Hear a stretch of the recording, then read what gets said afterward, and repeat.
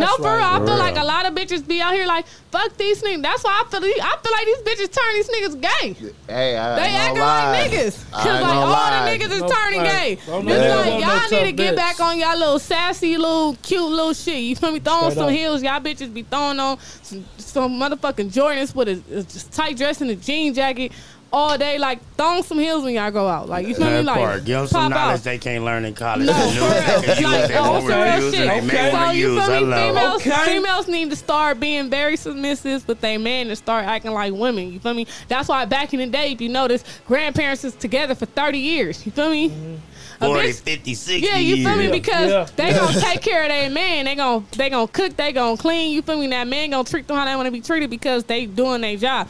Now these bitches fuck when a nigga get pregnant and you don't see the nigga at the baby shower. You don't see nothing. you feel me? Now like what happened? That nigga a weirdo. She I'm about to get a that shit. stepdaddy.